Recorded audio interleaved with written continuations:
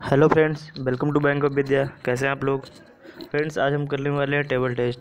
कई बच्चों का डिमांड था, पहले भी इस पर किए हैं। कुछ लोगों ने बोला, सर, फिर से करा दीजिए। तो प्रैक्टिस कर रहे हैं हम लोग। फिर मैं भी चाह रहा था, फिर से कराना तो चलिए ठीक है, स्टार्ट करते हैं आज का सेशन।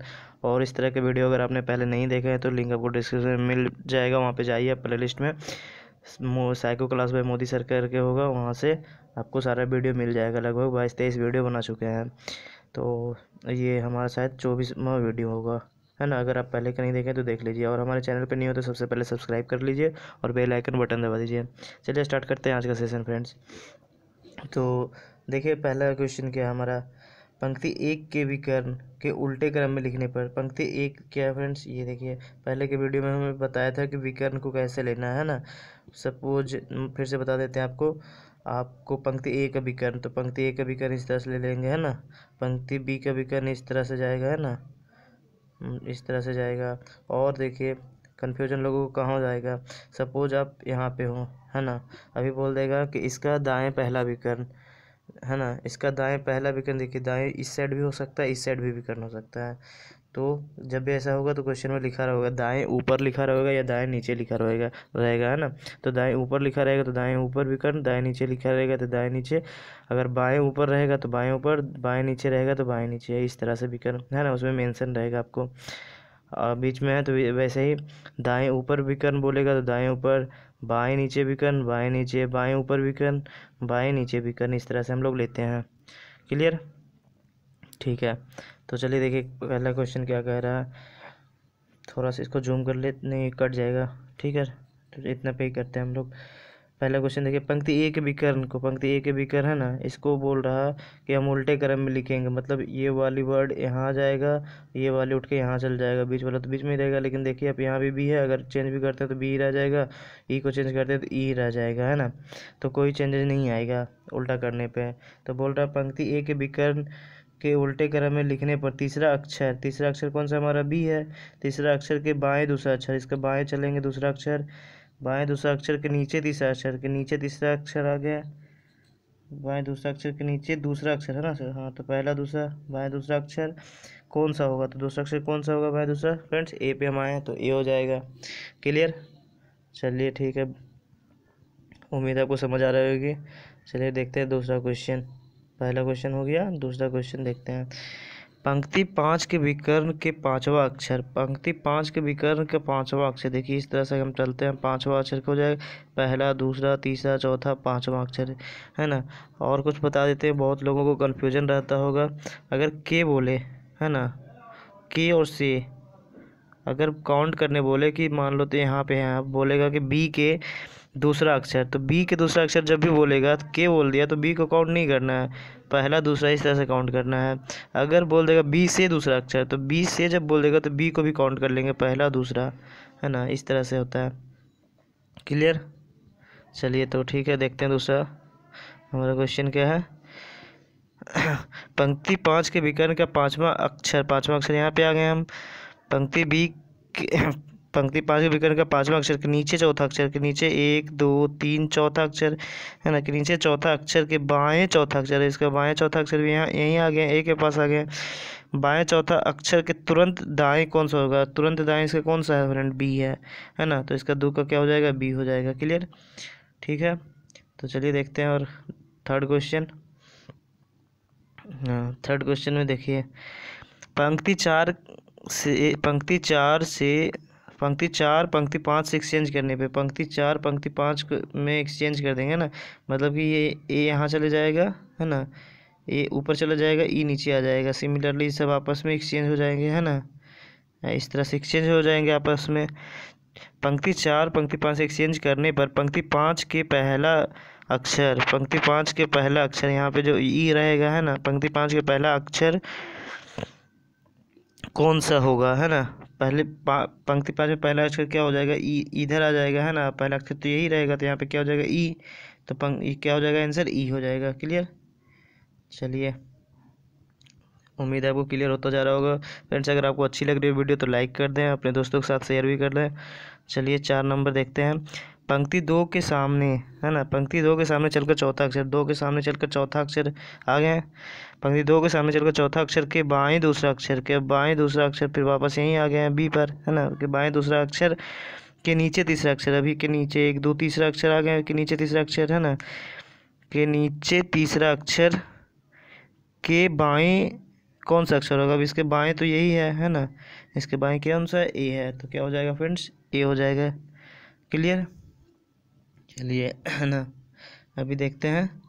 चौथा हो गया, पांचवा नंबर देखते हैं। स्तंभ पाँच को उल्टे क्रम में लिखने पर। अभी स्तंभ पाँच है ना, स्तंभ हमारा ये है, जिसको कॉलम कहते हैं इंग्लिश में, है ना, हिंदी में।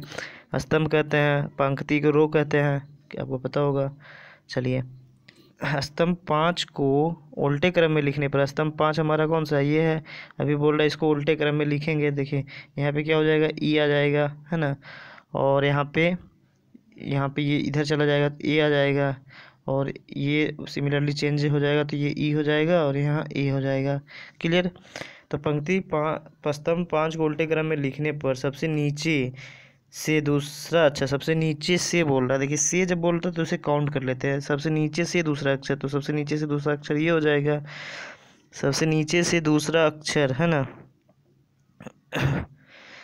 दूसरा अक्षर के ऊपर कौन सा अक्षर होगा? तो यहाँ के ऊपर कौन सा अक्षर है? यहाँ ये वाली है डी है ना? तो क्या हो जाएगा? डी हो गया। आंसर क्या हो जाएगा? पाँचवा का डी हो जाएगा। क्लियर चलिए ठीक है छठे नंबर क्वेश्चन पे चलते हैं। हम्म, देखिए क्लियर हो गया। छठे नंबर क्वेश्चन अब चलते हैं। पंक्ति एक के सामने चौथा अक्षर। पंक्ति ए के सामने चौथा अक्षर आ गए पंक्ति ए के सामने चौथा अक्षर के नीचे चौथा अक्षर। अभी इसके नीचे आ जाएँगे चौथा अक्षर, है ना? के नीचे चौथा अक्षर के सामने चौथा अक्षर के नीचे चौथा अक्षर। के दाएँ अक्षर ई, इसके दाएँ अक्षर ई है ना? तो वही बोल रहा कि दाएँ अक्षर ई, दाएँ अक्षर ई के दूसरा विकर्ण कौन सा होगा? अभी के दूसरा विकर्ण बोल रहा है तो इसका दूसरा विकर्ण कहाँ चले जाएगा अभी? क्योंकि इसमें देखिए, इधर कोई विकर्ण जाएगा नहीं, इस साइड जाएगा नहीं, इधर नहीं जाएगा तो इसमें हमें कोई बस विकर्ण बोला है तो हमें दाएँ बाएँ कुछ नहीं देखना है हमें, क्योंकि एक ही तरफ़ विकर्ण जाएगा, ये तो दाएँ तो विकर्ण दूसरा कौन सा हो जाएगा? पहला दूसरा बी है ना? क्लियर चलिए, उम्मीद आपको छठा क्वेश्चन भी क्लियर हो गया होगा इरेज कर लेते हैं, है ना? चलिए सातवां क्वेश्चन देखते हैं। पंक्ति चार के तीसरा अक्षर, पंक्ति चार पंक्ति चार के तीसरा अक्षर आ गया, है ना? पंक्ति चार के तीसरा अक्षर के नीचे सी इसका अक्षर नीचे सी है है ना? कि नीचे सी के बाएँ दूसरा अक्षर, के बाएँ दूसरा अक्षर यहाँ पे आ गया है। सी के बाएँ दूसरा अक्षर के ऊपर चौथा अक्षर कौन सा होगा? तो इसके ऊपर चौथा, एक, दो, तीन, चौथा कौन सा होगा फ्रेंड्स? ई हो जाएगा, है ना? क्लियर तो उम्मीद है आपको क्लियर हो गया होगा। है ना सातवां? चलिए देखते हैं अब आठवां क्वेश्चन सात क्लियर हो गया, आठवां देखते हैं। पंक्ति दो को पंक्ति चार से एक्सचेंज करने पर अभी पंक्ति दो ये वाला है और पंक्ति चार ये वाला है। इसको आपस में एक्सचेंज कर लेंगे ना तो ये डी इधर आ जाएगा ई ऊपर चला जाएगा सिमिलरली आगे का भी सब एक्सचेंज होगा, है ना? पंक्ति दो को पंक्ति चार से एक्सचेंज करने पर पंक्ति दो करने पर पंक्ति दो के चौथा अक्षर, पंक्ति दो के चौथा अक्षर यहाँ मतलब जहाँ पे भी ए है, वहाँ भी रहेगा, है ना? पंक्ति दो के चौथा अक्षर के नीचे दूसरा अक्षर। अब इसके नीचे दूसरा अक्षर यहाँ आ गया, है ना? कि नीचे दूसरा अक्षर दूसरा अक्षर के नीचे कौन सा होगा? अब इसके नीचे भी बोल रहा है ना? यहाँ पे ई ए आया होगा, अब इसके नीचे भी बोल दिया तो क्या हो जाएगा डी आठ का क्या हो जाएगा? डी क्लियर चलिए। अभी चलिए नाइन नंबर क्वेश्चन देखते हैं। पंक्ति एक के सबसे अंतिम अक्षर। अभी पंक्ति ए जो है हमारा, इसका सबसे अंतिम अक्षर है ना? पंक्ति ए के सबसे अंतिम अक्षर के नीचे सबसे अंतिम अक्षर, के नीचे सबसे अंतिम अक्षर आ गया। सबसे नीचे अंतिम अक्षर के विकर्ण के अंतिम अक्षर, इसके विकर्ण के अंतिम अक्षर कहाँ? ई पे ही आ गए है ना? चल के जहाँ से चले तो वहीं आ गए।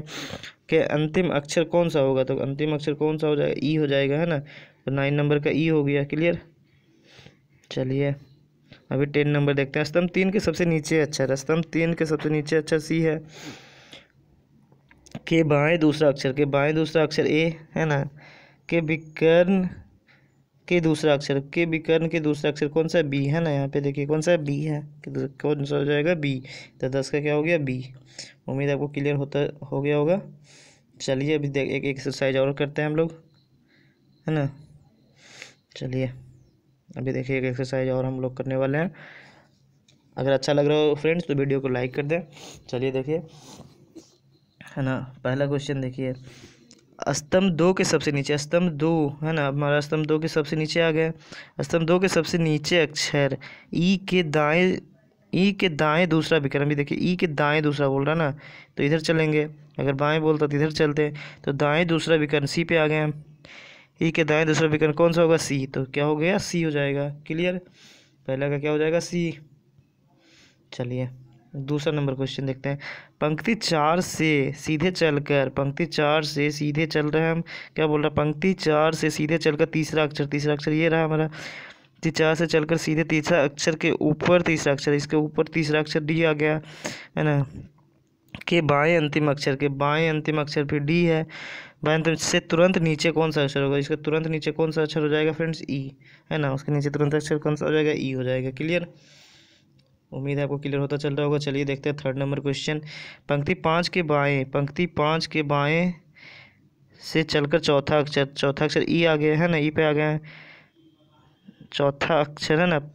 पंक्ति पाँच के बाएँ से से, बाएँ से चलकर चौथा अक्षर है ना? बाएँ से चलकर चौथा अक्षर तो बाएँ से चलकर चौथा अक्षर सी आ गया, ठीक है? अक्षर के ऊपर तीसरा अक्षर के, इसके ऊपर तीसरा अक्षर डी आ गया, है ना? के ऊपर तीसरा अक्षर डी के दाएँ अंतिम अक्षर, डी के दाएँ अंतिम अक्षर बी, है ना? क्या बोला? डी के दाएँ अंतिम अक्षर कौन सा होगा? तो क्या हो जाएगा? बी हो जाएगा। क्लियर? चलिए, उम्मीद आपको क्लियर हो गया होगा फ्रेंड्स। तो चलिए, अभी चार और चार हो गया, पाँचवा देखते हैं, है ना? पाँचवा देखते हैं। स्तंभ एक, है ना? स्तंभ एक के सबसे अंतिम अक्षर, स्तंभ एक के सबसे अंतिम अक्षर आ गया। सॉरी स्तंभ एक, है ना? स्तंभ तो ये है। तो स्तंभ एक के सबसे अंतिम अक्षर आ गया। स्तंभ एक के सबसे अंतिम अक्षर ए, है ना? के विकर्ण के तीसरा अक्षर, के विकर्ण का तीसरा अक्षर आ गया यहाँ पे सी पे। के विकर्ण का तीसरा अक्षर, है ना? के नीचे तीसरा अक्षर, इसके, के नीचे सॉरी। है ना? एक बार फिर से पढ़ लेते हैं। स्तंभ ए के सबसे अंतिम अक्षर ए के विकर्ण का तीसरा अक्षर के नीचे तीसरा अक्षर कौन सा होगा? कि विकर्ण का तीसरा अक्षर अच्छा। ए, एक, दो, तीन, इसके विकर्ण का तीसरा अक्षर कौन सा होगा फ्रेंड्स? के बोल रहा है ना तो इसे काउंट नहीं करते हैं। एक काउंट नहीं करेंगे तो तीसरा अक्षर के के नीचे तीसरा अक्षर कौन सा हो जाएगा? सी है ना? तो पाँच का क्या हो जाएगा? सी क्लियर अभी चलिए छठा नंबर क्वेश्चन देखते हैं। देखिए छठा नंबर क्वेश्चन क्या कह रहा है? स्तंभ तीन के नीचे तीसरा अक्षर, स्तंभ तीन के नीचे तीसरा अक्षर आ गया है ना? स्तंभ तीन के नीचे तीसरा अक्षर, सी के दाएँ दू, के दाएँ दूसरा अक्षर, के दाएँ दूसरा अक्षर कौन सा? डी है। के दाएँ दूसरा अक्षर, के नीचे दूसरा अक्षर, के नीचे दूसरा अक्षर भी डी है। के नीचे दूसरा अक्षर, के बाएँ अंतिम अक्षर कौन सा होगा? अब इसके बाएँ अंतिम अक्षर कौन सा फ्रेंड्स? ए है। तो क्या हो जाएगा? छः का आंसर ए हो जाएगा। क्लियर? चलिए, देखते हैं आगे। छः हो गया, सातवां देखते हैं अब। पंक्ति तीन को पंक्ति पाँच से एक्सचेंज करेंगे। पंक्ति तीन को पंक्ति पाँच से एक्सचेंज कर देंगे। एक्सचेंज आपको पता ही होगा, इस तरह से करते हैं। ए ऊपर चला जाएगा बी नीचे आ जाएगा, वैसे सिमिलरली ई ऊपर चला जाएगा डी नीचे आ जाएगा, है ना?